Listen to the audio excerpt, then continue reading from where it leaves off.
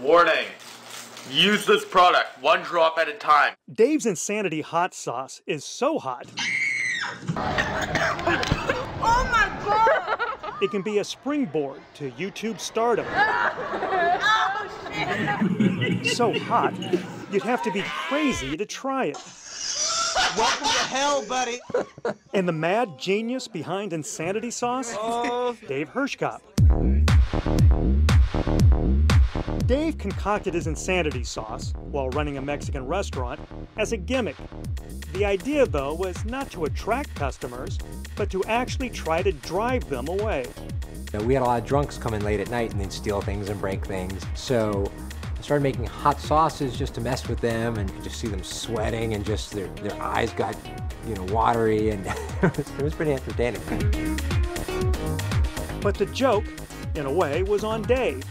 The hot sauce was a hit with students both drunk and sober. I wouldn't kiss him if I were you. Realizing he had caught lightning in a bottle, Dave began refining his recipe, always striving for ever hotter. I can only make it so hot as like the hottest pepper, but I wanted to make it much hotter than that. So I, I started saying, wow, what if I took the heat out of the pepper and put it directly in the sauce? And that's what I did and made Insanity sauce, which was magnitudes hotter than anything on the market at the time. There were competitors to be sure, and the hot sauce wars heated up.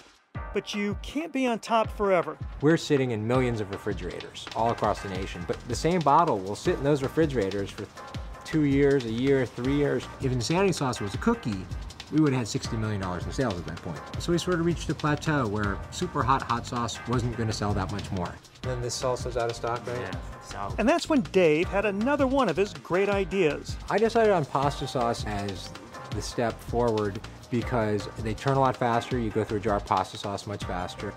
And over the last couple of years, Dave's business has gone from this to this.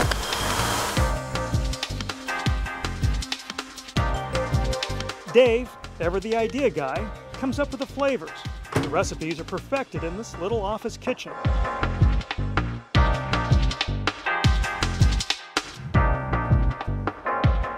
Yeah, this one the spices are way out of whack. And Dave's latest brainstorm?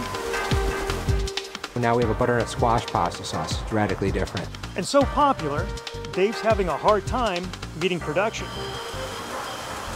Sales on the pasta sauces have been fantastic. We're looking at probably 50% plus growth next year. Uh, we had high growth this year. We think the following year we could grow 100%.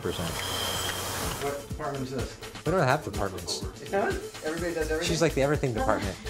But with just nine employees, keeping track of sauces, shipments, and supplies became too much for Dave's boutique operation. He was searching for a sophisticated business software package when someone told him about SAP. I never would have thought SAP would make a system for a company like us. When I think of SAP, I always thought of this is a company that delivers, you know, multi-million dollar software packages for multinationals.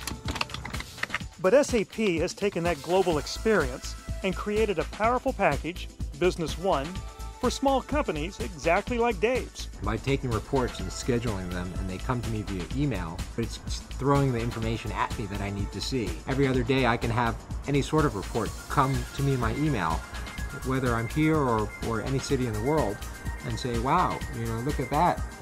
Um, we're going to run out of that product if we don't order. It's really helping me be a better manager.